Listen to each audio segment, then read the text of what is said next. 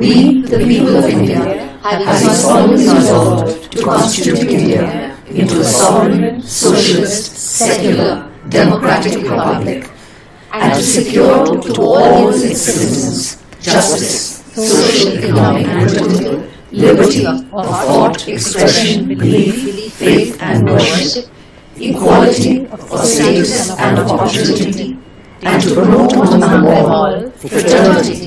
assuring the dignity of the individual and unity and integrity of the nation. In our Constituent Assembly, this 26th day of November 1949, do hereby adopt, enact, and give to ourselves this Constitution.